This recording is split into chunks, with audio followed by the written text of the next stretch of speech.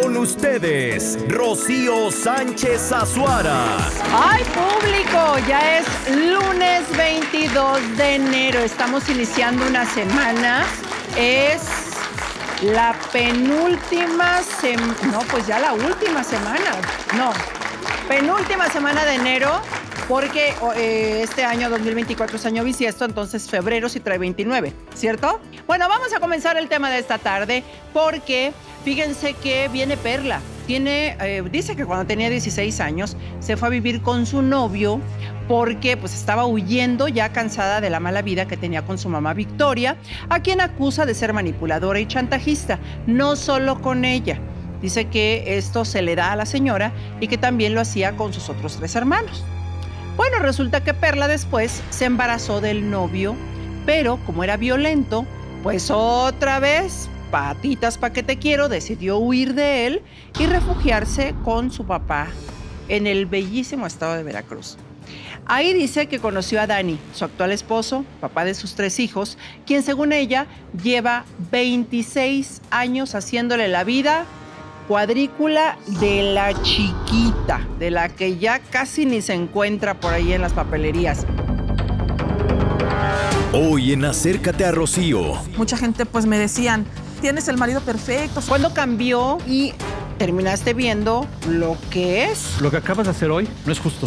Esto es lo mismo siempre. Pero no me puedes Pero no, sa- no Sabes saben me cómo me tratas. mucho. Comida. Vamos a ver en la Lo casa. vamos a ver en la casa. Ahora que encuentra un buen hombre, como un divorcio. Quédatelo tú, ¿no, te lo, no lo quieres? ¿Qué? el divorcio. No me digas. voy a No la voy a divorciar. No Ya necesita tu permiso. No la voy a dejar, Rocío.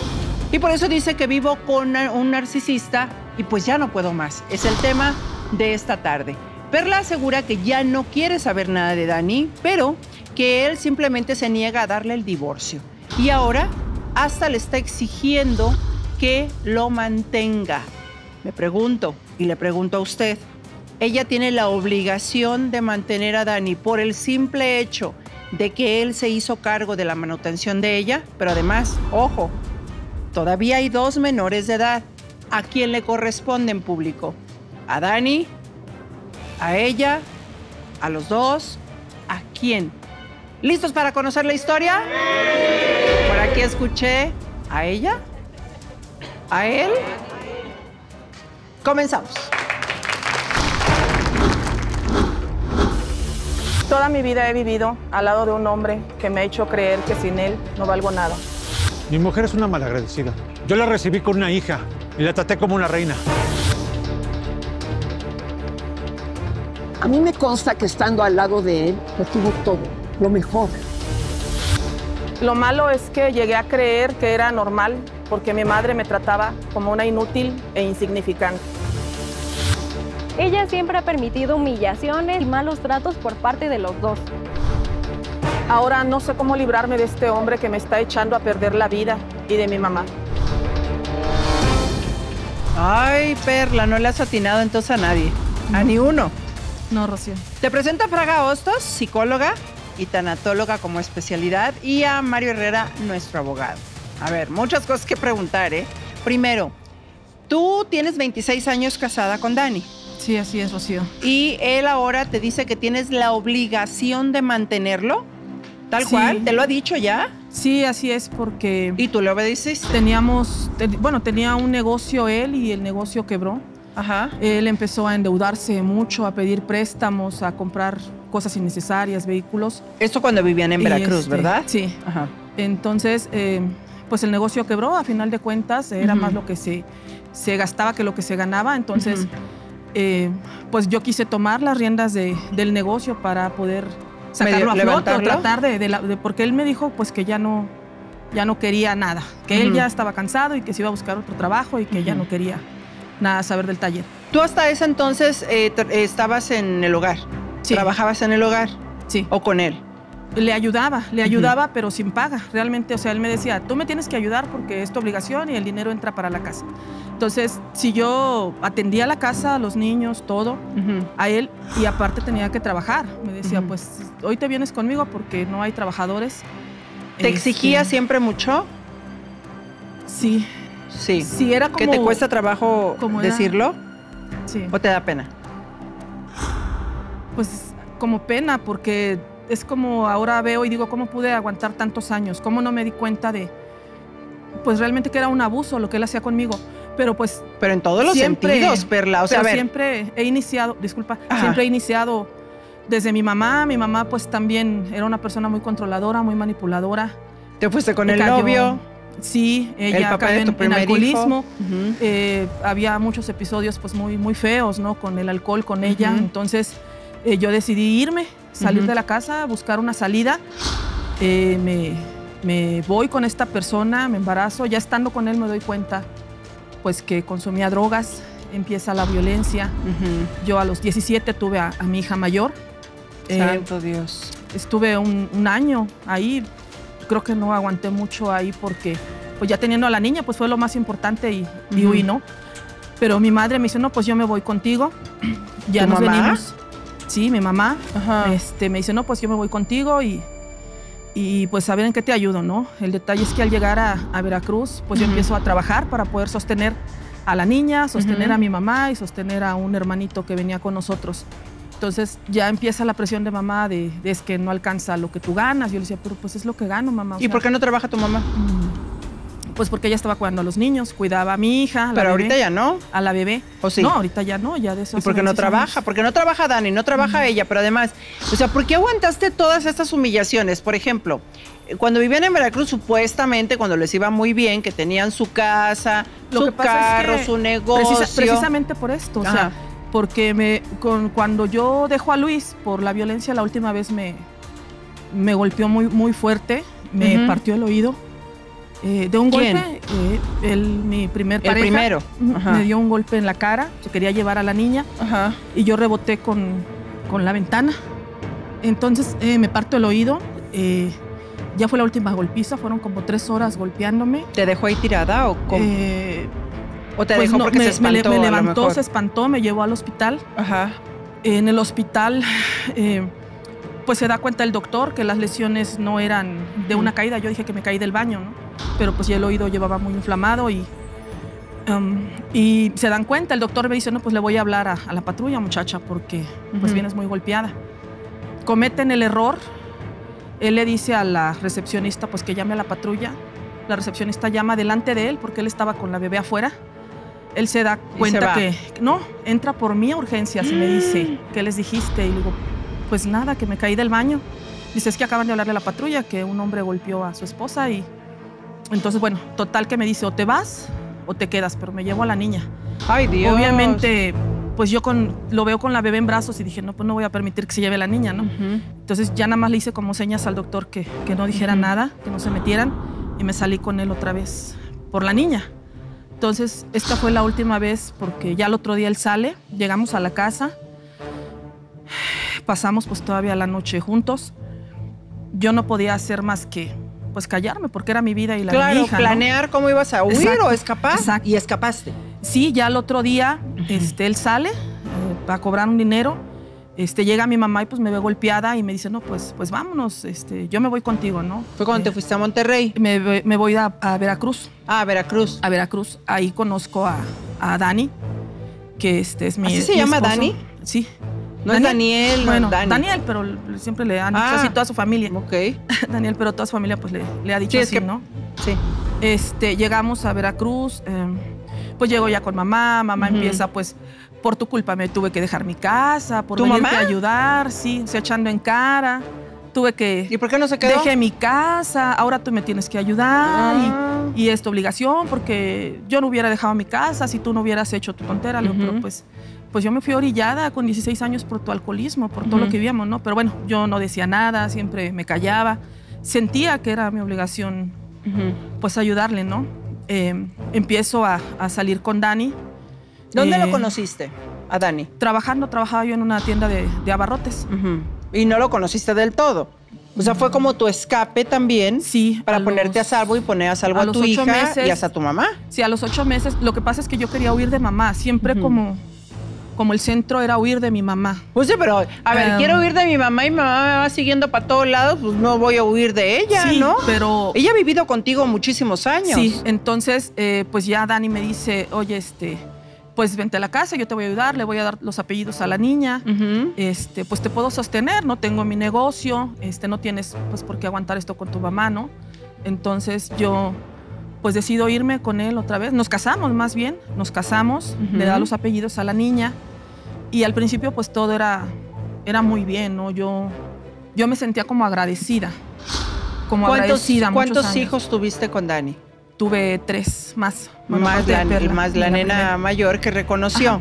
¿Y por qué eh, te sentías agradecida? ¿Cuándo cambió ese sentimiento de agradecimiento y terminaste viendo pues, lo que es una persona que siempre ha abusado de ti?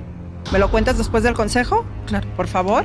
Porque además también tengo datos de que Dani era como candil de la calle y oscuridad de su casa, como que Sí. delante de la gente, uy, muy cariñoso y muy caballeroso y muy atento. Sí, sí. Y, y de la puerta para adentro de la casa, pura humillación. Y tienes todo gracias a mí. Y cuidado y todo, ves todo Pues lo que es está en la casa es mío. Era eso, Rocío. O sea, era al tener yo el sentimiento de agradecimiento con él, pues yo permitía, o sea, que porque él me decía, es que eh, tú no eres nadie. Acuérdate cuando llegaste no tenías nada. Yo, pues ah, prácticamente te salvé de tu mamá, ni tu mamá te quería, tenías estos problemas. Hasta, hasta te, te echaba en cara al haber sí. reconocido a la niña. ¿Desde qué edad te saliste de tu casa? 16 años, Rocío. Desde los 16, 16. hasta los cuántos tienes. 44. Realmente ya es- ¡Santo estoy, Dios! estoy aquí, Rocío, porque ya no quiero quedarme callada. Ya, ya creo que llegó el momento en que, en que yo hable, como lo decías ahorita, él aparenta una cara ante los demás.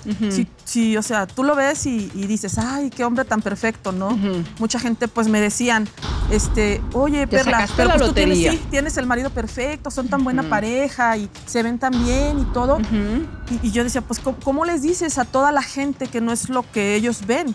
Que adentro de, de Pero- la casa, del cuarto. Eh, eh, te trata diferente, pero a ver, cuando por ejemplo estaban en público, vamos a suponer una eh, fiesta o qué sé yo, ¿por qué tú permitías que te tratara de una forma que no era? O sea, ¿por qué en ese momento no de repente decías, oye, tú así no eres, o sea, tú me tratas bien mal? Lo que pasa es, es que, mm, o sea, mi familia no sabe eh, realmente pero tu mamá todo, todo lo que pasé. O sea, pues sí, pero pues ella dice que, que pues yo tengo que, que atenderlo, que tengo que ayudarlo, porque él me ayudó cuando yo no tenía, él me ayudó con la ¿Y niña. Dani que qué quién. dice? ¿Actualmente qué dice? Mira, el negocio que, que teníamos, Ajá. este, o tenía él, porque siempre dijo que todo era de él, este, eh, quebró, quebró hace dos años. Vendió hasta la casa, ¿no? La hipotecó Está, está hipotecada. y la dejó perder. Pues sí, se pierde. Ajá. Eh, coches, te digo, o sea, compraba, que le ofrecían un coche Ajá. en pagos o en abonos, lo agarraba. Y yo le decía a Tony, Dani, perdón, si ya tiene este tu coche, ya tiene este Nancy su coche, ya tengo yo mi coche, ¿para qué quieres más? No, no, pues nada más para tenerlos, porque me gustan los coches. o sea, o sea- empezó a vivir por encima de Sí. sus eh, posibilidades Sí, e ingresos. que era su cumpleaños y yo no me daba cuenta, de repente me llegaba con una moto. Y yo le decía, ¿y eso? Es que es mi cumpleaños, me lo merezco. Mm. O sea, yo trabajo, yo gano, yo me lo... Relojes, pues de marcas caras. O sea, y yo le decía, Dani, pero debemos la luz, debemos esto. No, sí, pero es mi regalo, es mi regalo. O sea, él se hacía regalos a sí mismo. Ujú. Y, y a mí pues era de- del dinero diario, no me daba una quincena, no me daba... gasto ni tal, nada. no. Vivieron Era endeudados diario. hasta que se vinieron a vivir Sí. con tu hija. Pero no te viniste sola, se vinieron a vivir cinco. Sí, eh, ¿Hasta con tu mamá? cuan- Cuando, quiebra el negocio, este, empieza a quebrar y todo. eh, hace un año mi hija Nancy me dice, ¿sabes qué, mamá?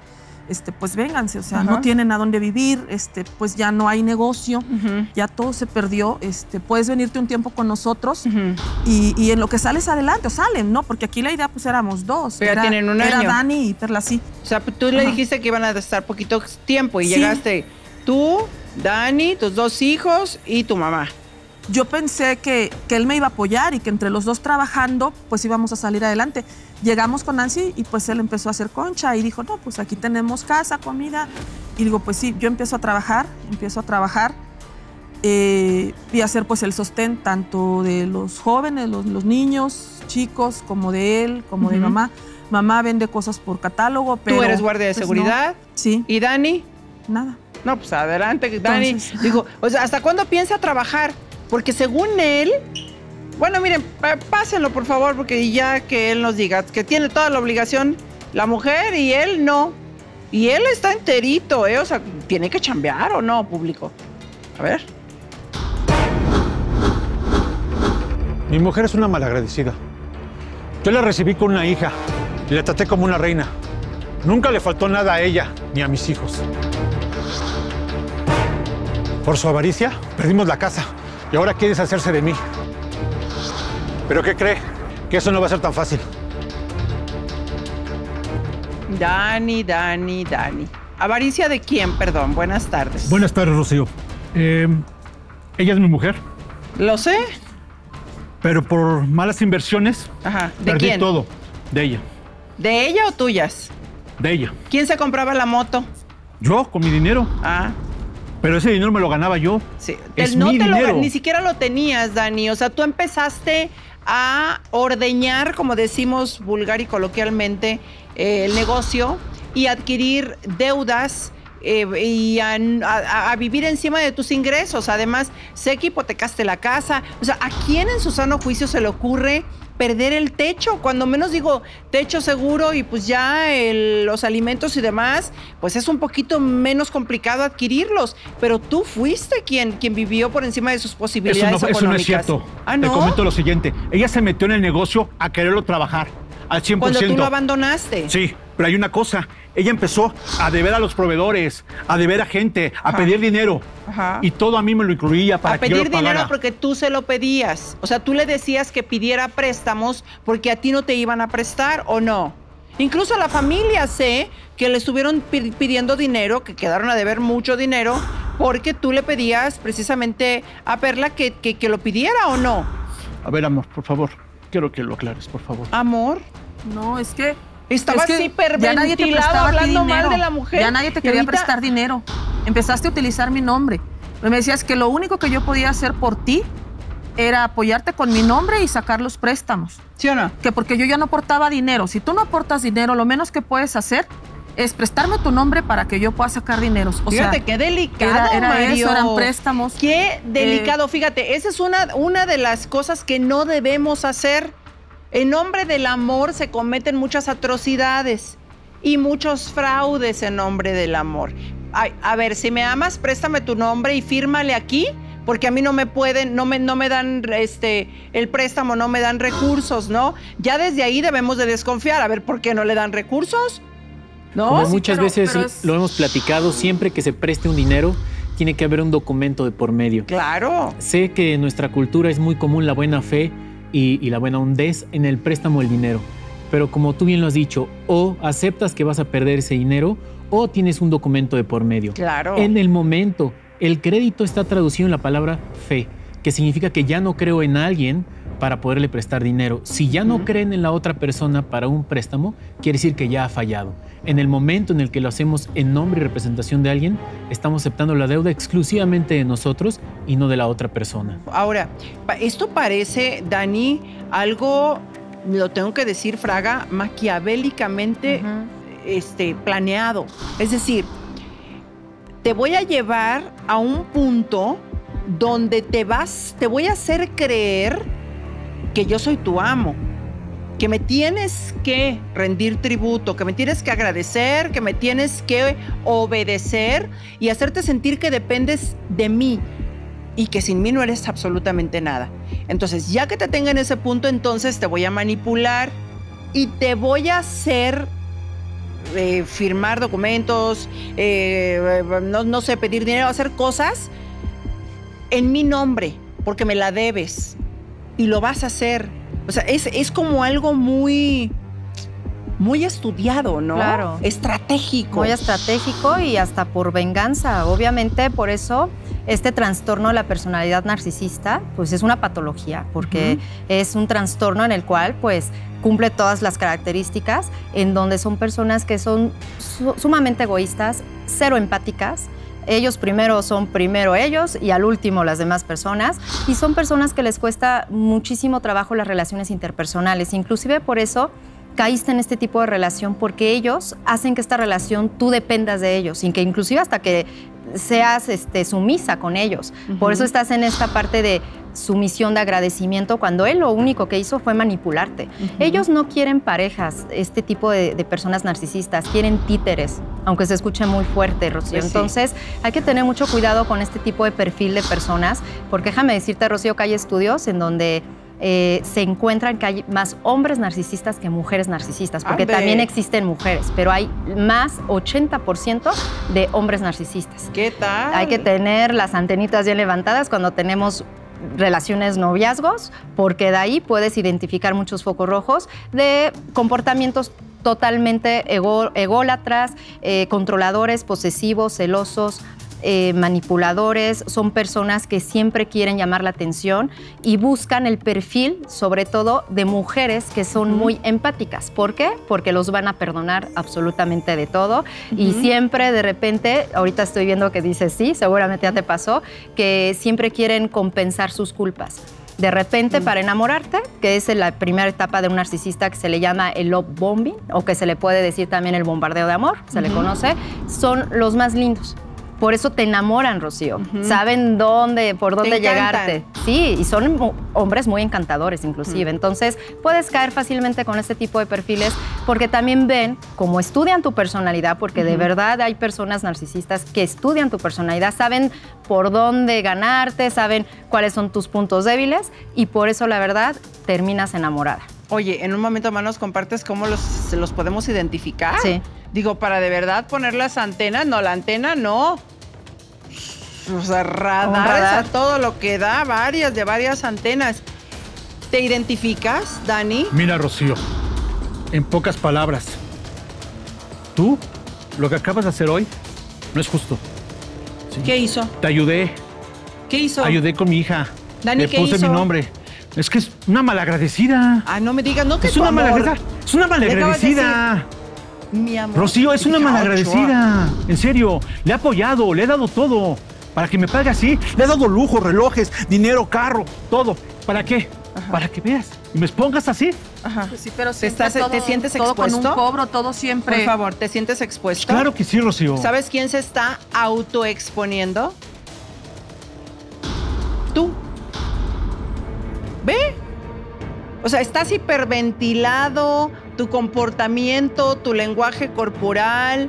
O sea, le acabas de decir amor y ve cómo lo estás viendo. O sea, ya así. O sea, hasta trompa. O sea, ¿qué onda? Es que no es justo, Rocío. No es No justo. es justo. La apoyé y si muchísimo. es justo lo que ella ha vivido Sí, siempre- siempre a tu lado, mismo. es justo que la hayas humillado tanto. Ella me quiere, Rocío. Nada más que se hace que no. Que Te quiere lejos. Ah, No, yo ya estoy cansada y el primer paso Tú en es el estar aquí. ella en por eso Tijuana, ¿qué vine, por eso estoy aquí, porque quiero ayuda, porque ya no quiero estar contigo.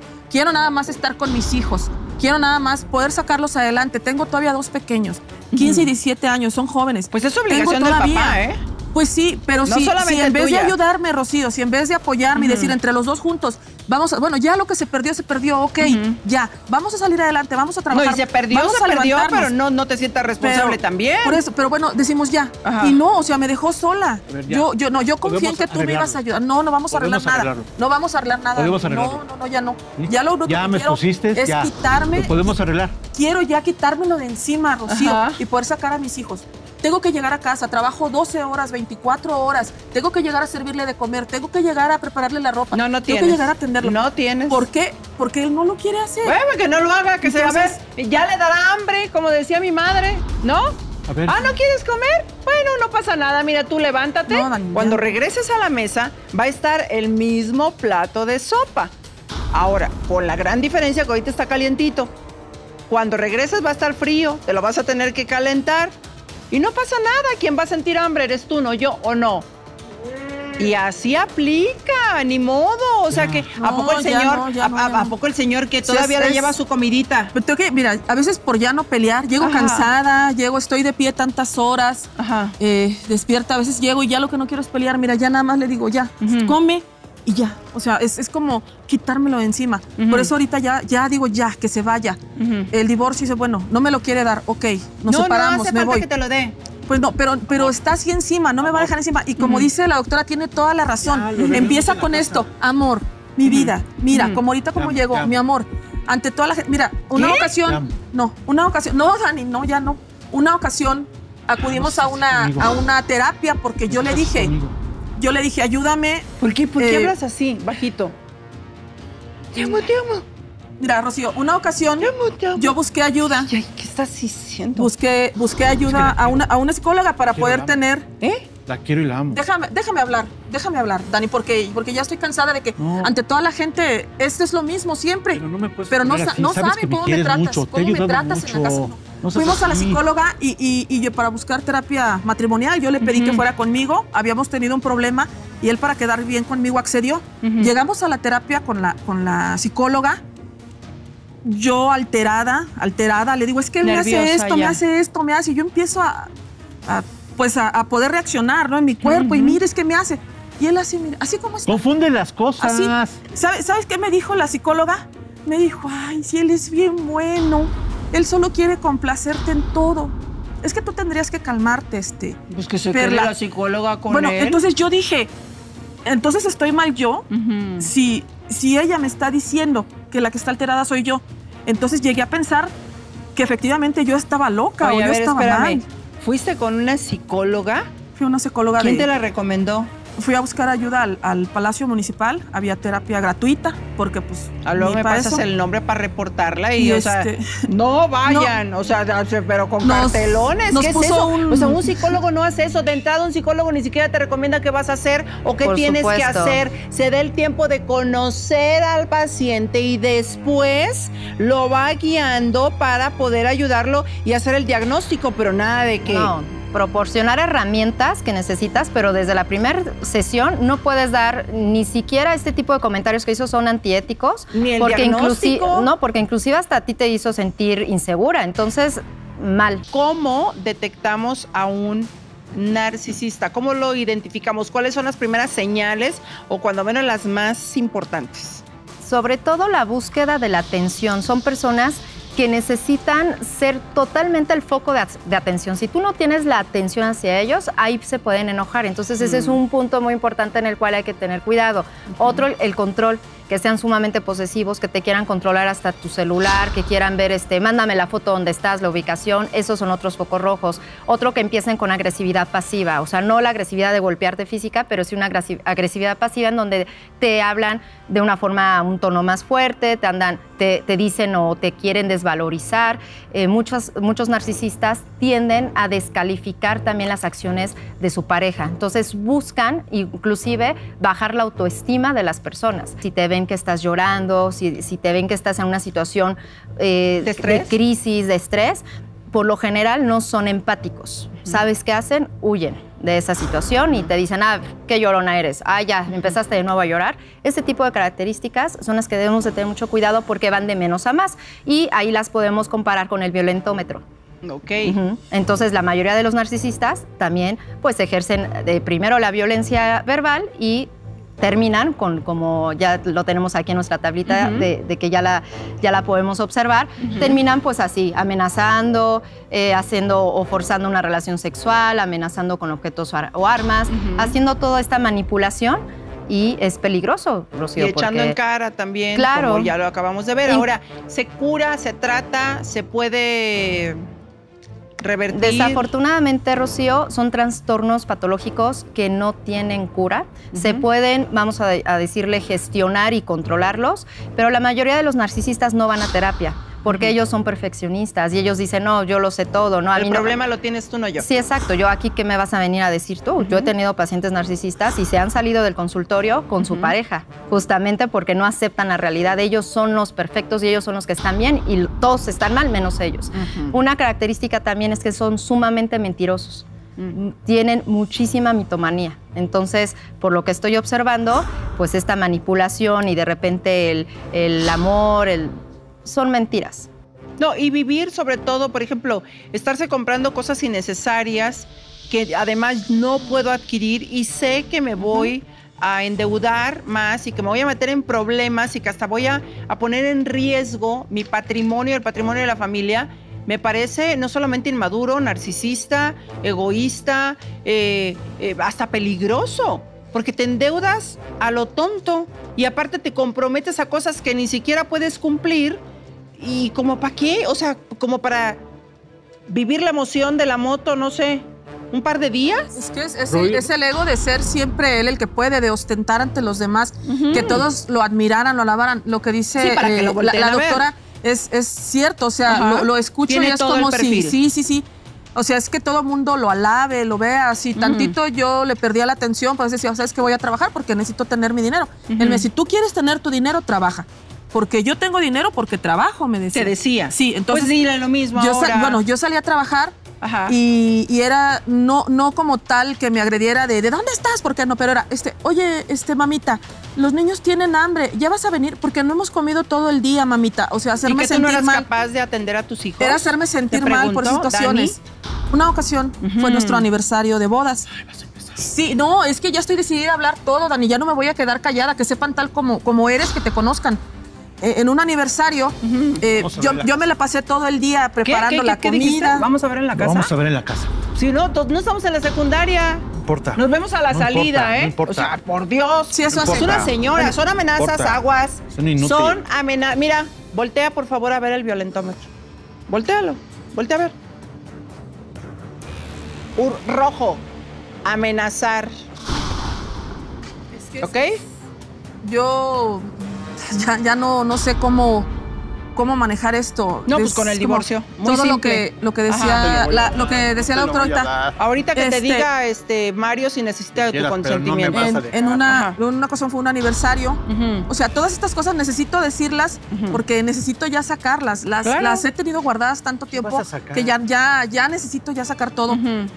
Eh, fue aniversario, yo todo el día preparé mi comida, preparé mis mesas, este, todo para arreglar el evento y estuviera bonito en la noche. Él se fue a trabajar, a hacer otras cosas. Te di Ya regresó como a las 7 de la noche y obviamente yo, pues a mí me gustaba hacer todo en, en la casa, ¿no? Preparar yo personalmente. Llego y empiezan a llegar unos invitados y me subo a bañar. Estaban mis hijas. Y me subo a bañar, pero faltaba ponerle manteles o algo a las mesas. Entonces, este, yo subo a bañarme y sube él enseguida, pero él ya estaba arreglado, porque como Pero él no te hacía... di meseros. No me toques. Te di meseros. No lo Dani, toques, por no, favor. Dani, ya.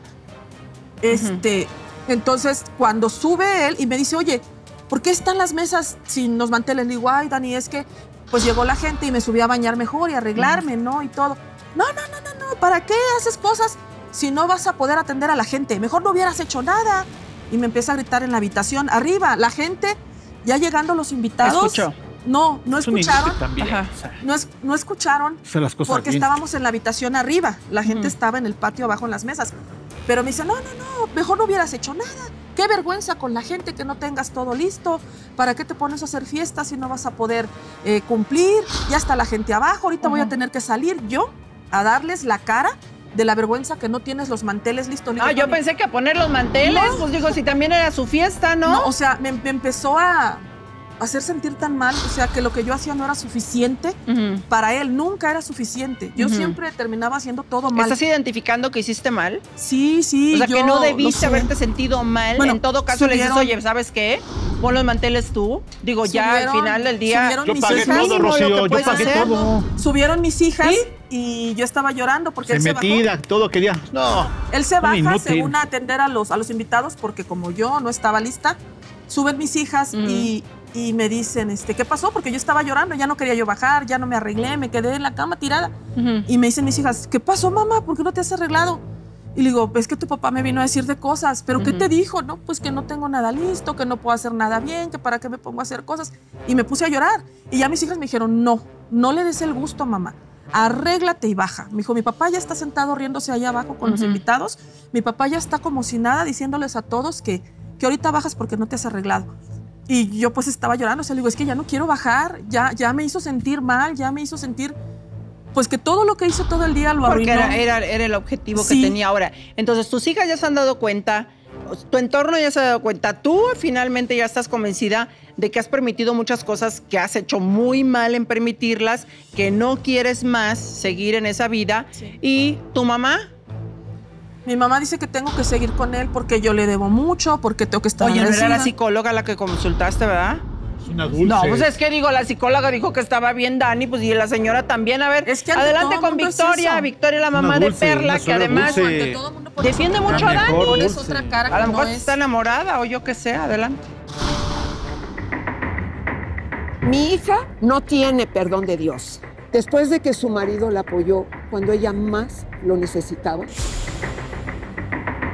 a mí me consta que estando al lado de él, lo tuvo todo, lo mejor.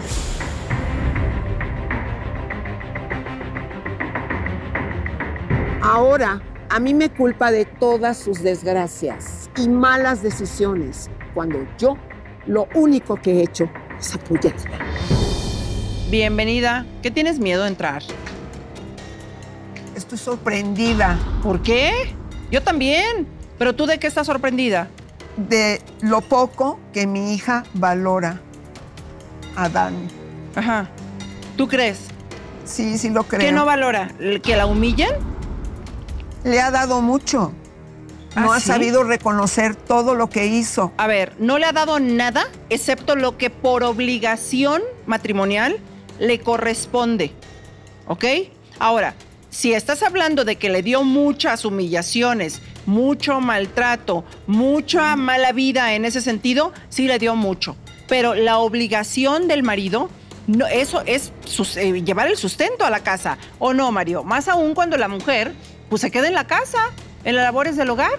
Justo eh, la ley contempla un capítulo especial para las personas que se dedican al hogar y tienen que ser reconocidas como tal y en muchas legislaciones lleva el mismo al empleo que tiene la persona que sí trabaja y deberá tener los mismos derechos y reconocimiento por el trabajo tan fuerte que es atender un hogar y más cuando hay hijos y tantos. Él la única obligación que tenía era de trabajar, solo Claro. eso. Y todas las obligaciones que tenía ella era de atender una casa, de atender a los niños y tener todo listo. Por lo tanto, se debe valorar más incluso que un trabajo jornalero. Y ya que estamos contigo, Mario, ojalá que le puedas eh, aclarar a Dani que, que tiene como muy mala información. O, o desinformado está en el aspecto de que no te voy a dar el divorcio. No se necesita de su permiso, ¿no? Muy importante que, se, qué es lo que tiene que hacer. Primero, denunciar la violencia que está viviendo. Esto se llama violencia familiar al lado de violencia doméstica, más todos los problemas que han sufrido. Porque Eso tú, tiene, Perla, ¿eh? tiene que hacer algo muy importante, Perla, al momento de iniciar su divorcio. Pedir medidas de protección. Como él lo ha manifestado, no me voy a alejar de ti. Y esto es una de las acciones que cometen los violentadores para seguir intimidando a sus víctimas. No va a bastar con solo divorciarse. El divorcio en este caso va a ser un trámite que durará a lo mucho tres meses, pero el problema va a ser separarlo del hogar. Para eso, desde el inicio, vamos a necesitar incluir una denuncia por violencia doméstica y violencia familiar para que vaya incluido con la demanda de divorcio e inmediatamente le den una medida de protección y Dani tenga que seguir, salir del domicilio inmediatamente. Ahora, ojo, el domicilio donde viven actualmente no es de ellos, es de la hija de ambos. Lo renta junto con su pareja, con su esposo. Y de pronto ella se ofrece para da- darles la mano, sobre todo a su mamá, por esa situación en la que est- estaban en Veracruz, que perdieron absolutamente todo, pero no llegó solamente Perla, sino llegó todo mundo. O sea, hasta Victoria llegó con sus dos hijos y demás. ¿Quién sería que tendría que solicitar que desalojen el hogar? Eh, en este caso, Perla, ellos ahora en este momento están algo que se llama domicilio familiar. Significa que es el domicilio en donde hacen su vida junto con toda la familia. Que también pudiera su hija solicitar una medida de protección para que salga, pues bueno, en este caso Dani cuando haya violencia, pero Perla es la primera que debe de iniciar. Primero la denuncia por violencia familiar y en el momento del divorcio solicitar las medidas de protección para que ya no pueda regresar al domicilio.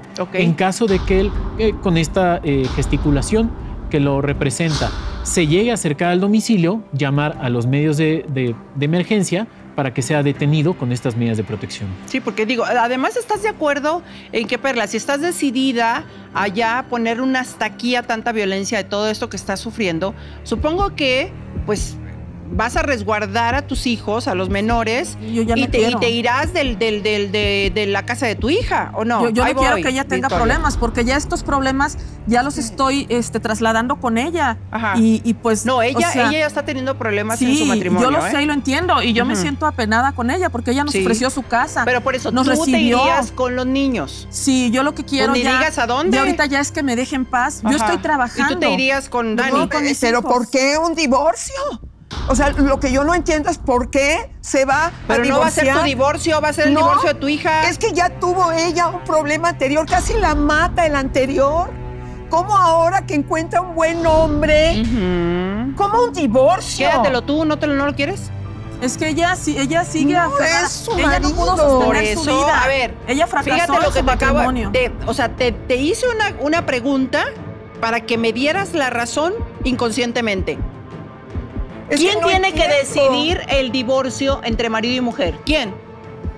Ella, pero Ah, ella pues no sabe entonces valorar acabas a su decir marido. eso, es su marido. Bueno, Ella pues si no es su marido, y ya no tampoco. lo aguanta porque ya es demasiada violencia, de él se quiere divorciar, ¿quién tiene que tomar la decisión? Ni modo que tú. Y además, ustedes ni se llevan bien, se las pasan discutiendo, alegando, se- echándose en cara, como ¿para qué quieren estar juntos? Y si yo quiero estar tranquila, Rocío. Si no es ella que está todo el tiempo así, de trátalo bien, de sírvele, de atiéndelo, Perla, de ¿cuánto plánchale. tiempo y él estuviste? encima, ya, ya, ¿Cuánto ya estoy tiempo cansada, ya, estuviste a- ya a estoy, cargo? no, ya estoy cansada, ya. ¿Cuánto tiempo estuviste a cargo de Victoria? Después del consejo me lo dices, porque además, si son tantos hijos, pues también se tienen que dividir la responsabilidad. ¿Por qué no se reparten entre las cuatro la responsabilidad y no solamente recae en Perla? Porque Perla, pues prácticamente ha estado viviendo con ella desde hace cuánto tiempo. Sí, ya ¿Hace son cuánto ocho tiempo? años. Entonces yo creo que es justo en que pues también pases tiempo con tus otras hijas y que se den un respiro, ¿o no, Victoria? Pues debería de ser, pero hicieron su vida y la verdad, También Perla quiere hacer la suya, ¿no? sí, pero ella ha tomado todo el tiempo, o casi todo el tiempo, muy malas decisiones. He tenido que estar con ella. El otro era un drogadicto. Mm. Ella La no iba a matar, ella la no se iba a matar. ella nada. Después encuentra a Dani. Y ahora, bueno, estamos en otro momento atroz. Yo de verdad me ¿Estamos? muero de vergüenza. ¿Estamos? Claro que ¿Por me qué? muero. ¿Cómo? Todos estamos viviendo esto. ¿Pero en qué te afecta? Me afecta porque me duele. ¿Te Porque- duele? ¿O porque porque- yo o por- quisiera o que porque la sí? familia estuviera bien, que todos estuviéramos A ver, bien. no están bien. Principalmente tu hija no está bien. Y yo creo que tú sí tienes que estar consciente, como, como adulto que eres, que no debes estar responsabilizando a tu hija de absolutamente toda la carga eh, de, de- de- de tus gastos, de tu vida, de tu actuar, de, o sea, ¿por qué la vas a responsabilizar? Déjala en verdad ser vida, feliz Rocío. o no, Mario. Corresponde a todos. Sí, cuando recordemos que el también. que dio tiene derecho a volver a recibir. En este caso, Victoria podría demandar a sus cuatro hijos para que entre todos le den una pensión alimenticia, no exclusivamente Perla.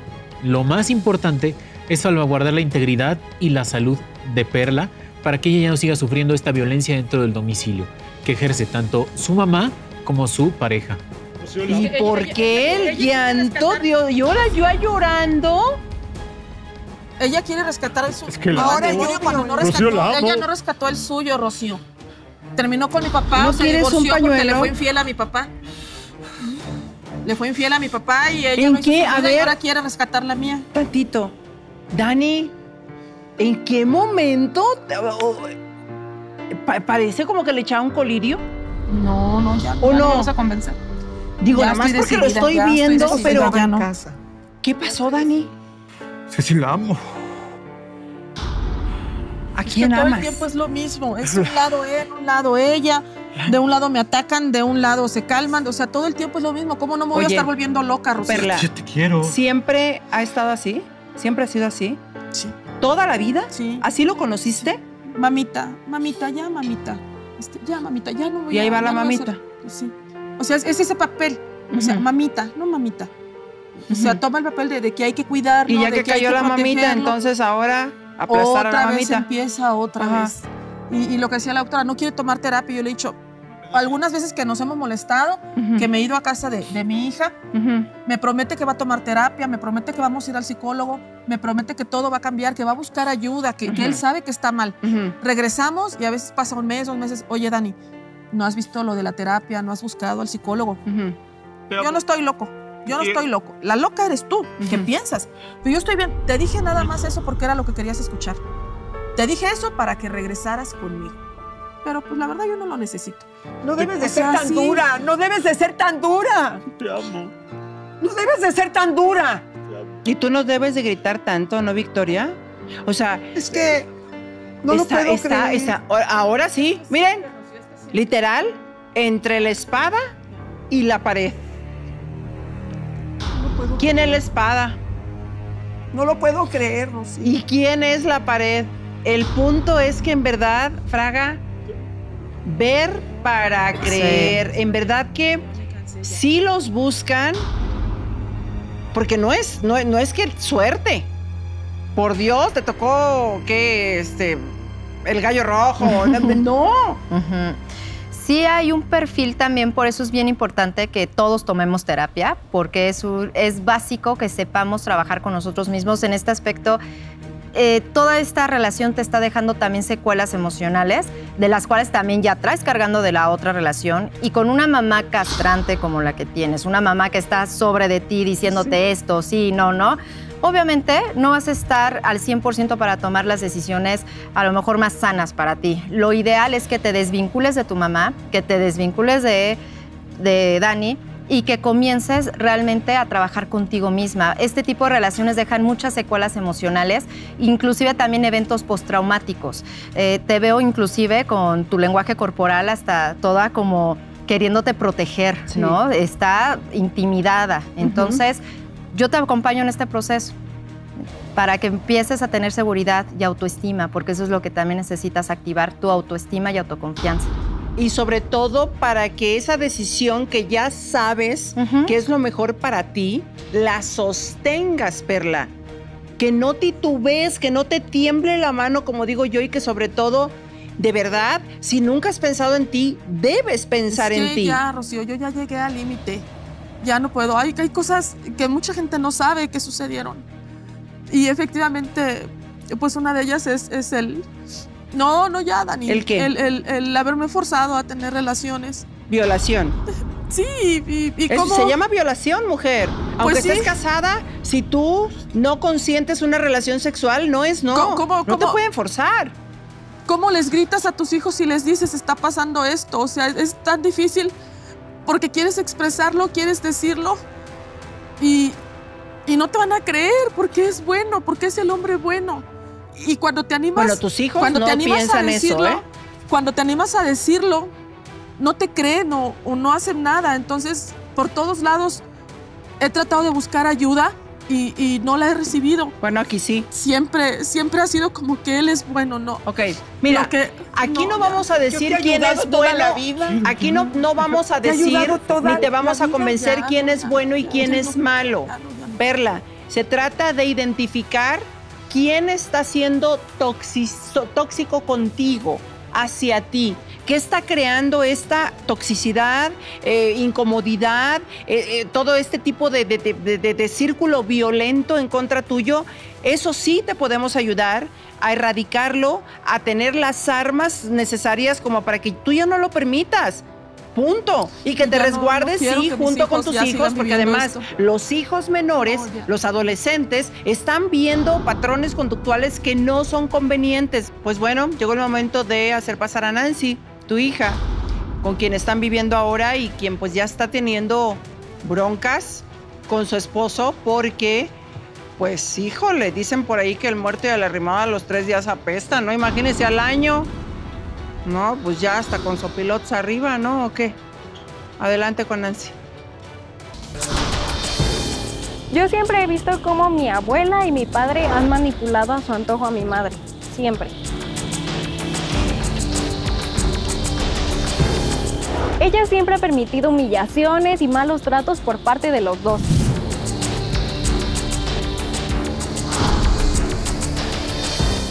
Ya es hora de que mi madre abra los ojos y se empodere y saque de su vida a mi abuela y a mi padre. No los necesita. Bienvenida, Nancy. Gracias. ¿Cómo estás?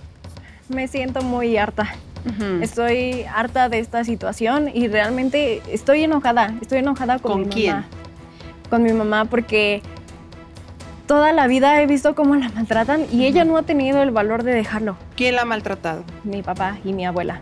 Los yo dos. estoy harta de, de tener que soportarlos. Hace cinco años yo me casé y yo ya sentí alivio en mi vida.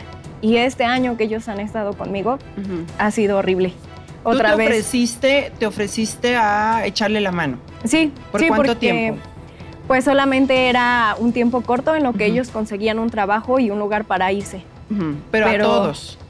¿O te Pues llegaron de no, sorpresa? Yo se, yo se lo ofrecí a mi mamá, Ah. solo a mi mamá y a mis hermanos. ¿Y cuando te van llegando todos, los cinco? pues qué pasó? Lo recibí. Realmente, ¿Y tu esposo? pues no estuvo como muy de acuerdo, pero lo aceptó. Y ahora yo tengo problemas con él precisamente por eso, porque él también se ha dado cuenta de la manera en la que ellos tratan a mi mamá. Y el hecho de que solo mi mamá sea la que nos ayuda con los gastos es muy pesado. Mi papá ni siquiera se molesta en conseguir un trabajo o en hacer algo de su vida. Que se la pasan gritando, discutiendo Sí, ahí. todo el tiempo están peleando. ¿Quiénes? Mi papá, mi abuela y mi mamá. Ajá. Mi abuela siempre le dice que ella es una irresponsable, que es una irrespetuosa. Mi papá siempre se la pasa diciéndole que ahora ella tiene que pagarle todo lo que nos dio. ¿Y tú crees que es justo? No, no creo que sea justo. ¿Por qué? Porque mi papá, pues sí nos dio cosas materiales, pero al fin y al cabo siempre tuvimos peleas, siempre tuvimos maltratos psicológicos. Siempre vimos a mi mamá cómo lloraba. Les agradezco mucho Oye. todo lo que hacen, pero pues eh, tú sabes la situación, no, no puedo salirme ahorita a rentar. Yo sé. Yo, yo me siento mal por ti y te agradezco mucho la ayuda que me das y quisiera de verdad poder salirme y, y que tú no tengas problemas en tu casa. Yo agradezco a tu esposo que nos recibió.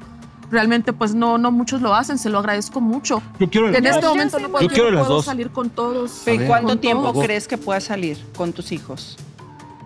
Pues yo creo que un mes, yo creo que pueda. Bueno, ponle, ponle dos, ponle dos, ¿no? Ponle es dos. No le pueden dejar, Pero ya es algo. sola con mis hijos. Y conmigo, O sea, ese es el Rocío, ¿qué voy problema, no con yo? ellos. ¿Qué voy a hacer Rocío, no yo? me pueden dejar, les di todo. Conmigo, dice O sea, ¿qué voy a hacer yo?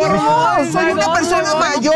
No, yo no puedo ya en este momento sostenerla, que no se la es mis hermanas, de tu que la ayuden mis hermanas, que no sé, seguir, yo ya de no puedo. seguir eh, teniéndote con ella, porque además eres, eres violenta, Victoria, con ella. ¿Violenta? Sí, señora, te estoy escuchando, te hemos escuchado todos.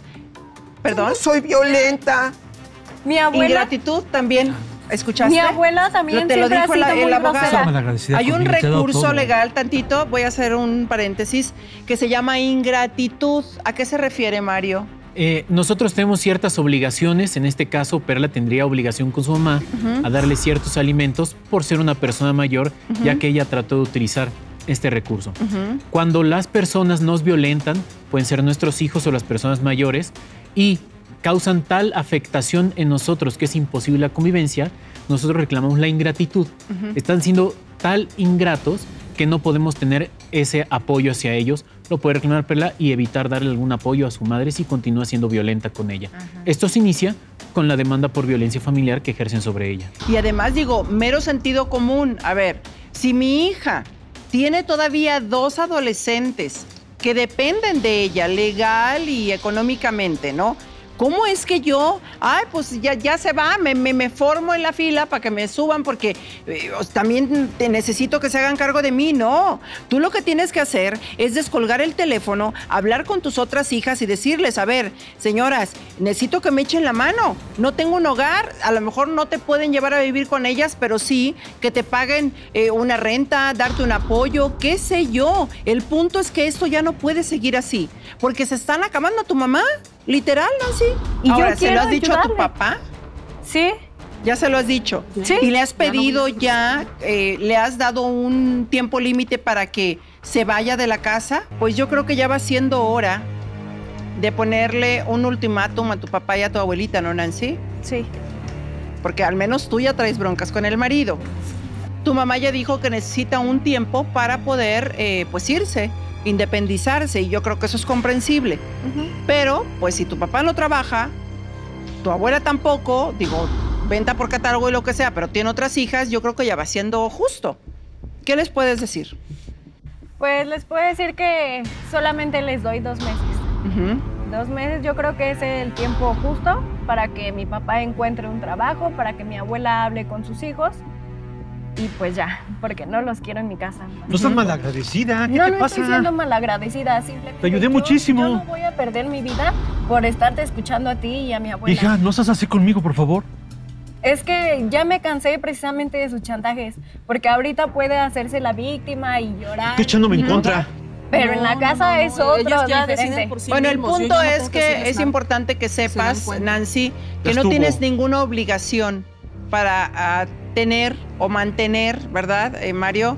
No solamente a Dani y a Victoria como su abuela, sino a nadie en su casa. O sea, ella tiene un matrimonio, merece la tranquilidad, la paz, la intimidad que significa vivir en pareja y como por qué va a estarse complicando la existencia.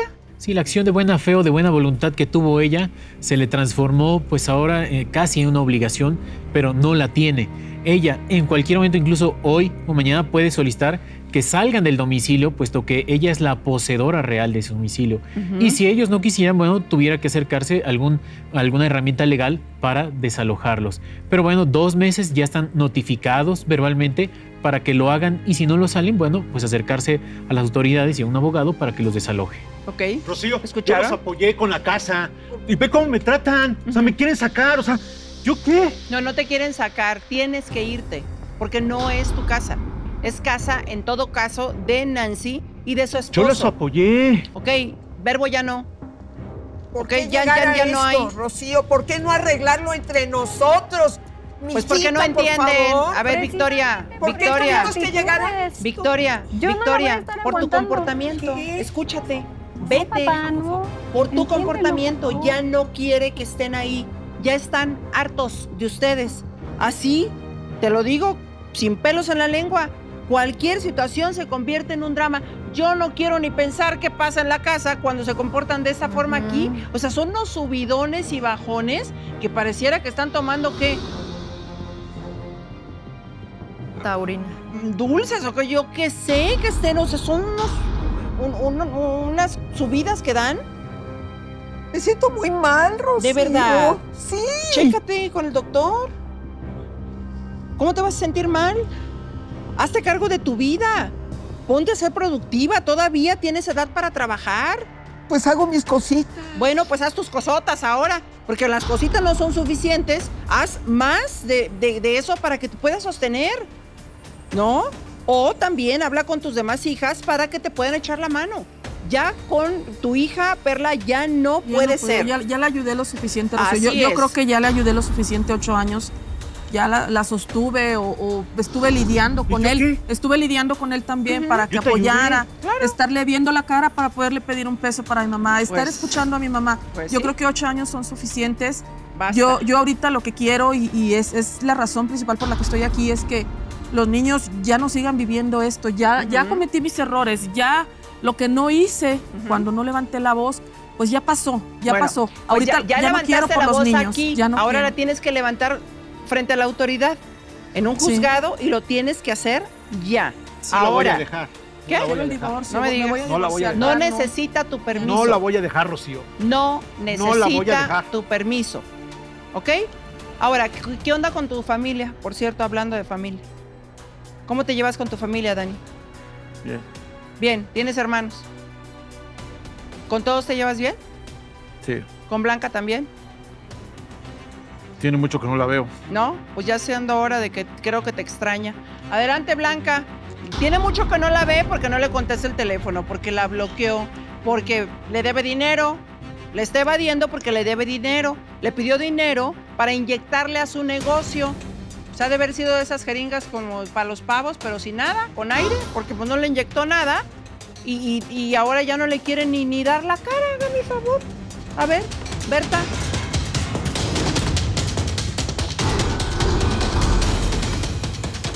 No, hombre.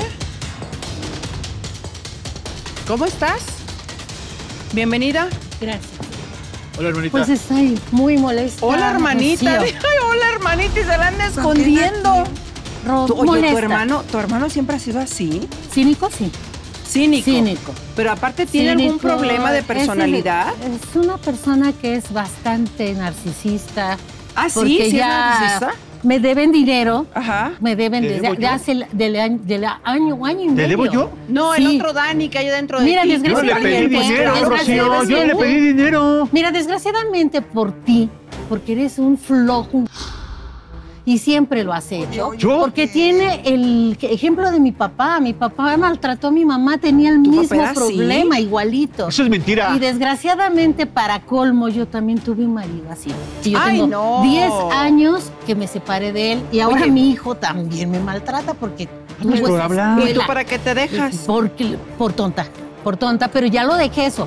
Ahorita lo que yo quiero es que, porque al año y me- hace año y medio, mi cuñada me pidió dinero prestado, ¿sí? Porque la- la mandó porque Dani. La, no, porque Sí, sí la mandó Dani. de alguna manera ella me dijo no que encontré. quería inyectarle a su, a su, A su negocio, sí, negocio sí. una lana. Sí. Pero yo se lo presté de buena onda 50 mil pesos. ¿Te busqué? 50 mil pesos, pero es, Sin si ustedes son maridos, no me firmó nada y desgraciadamente la buena fe la tengo yo. Pero desgraciadamente el abuso es de él porque tú eres el que abusas de tu mujer. Yo le tengo compasión a tu mujer porque ella ha sufrido mucho. No es posible que ellos, con, con- bueno, no ellos, pero él, con esa concha que le sale de ninja, no pueda darme la cara para pagarme. ¿Te busqué? Pues sí, es ¿No te encontré? Sí, la- me buscó, ninja, pero, pero- también fomentada es que él por no quiere- no quienes, ¿verdad? responder. Quienes le han creído y le, que le han protegido. No, no, o sea, al final del día, así. Fraga, fíjate, esto se hereda entonces, es, es hereditario. Son los patrones ¿Alguna que, patología? que aprendes y sí, posiblemente, de hecho, hay tratamientos para los hijos de padres narcisistas. Entonces, para romper esos patrones, obviamente conductuales, pero sí se puede decir que hay una conducta ahí que, pues, de tanto que lo están viendo, se fija en ellos y replican estos patrones de, en, en edad adulta. Inclusive tú también por eso elegiste una pareja narcisista con Claro. este tipo de perfil. Fíjate, inconscientemente, ¿no? Ahora, ¿cuándo le vas a pagar el dinero, Dani?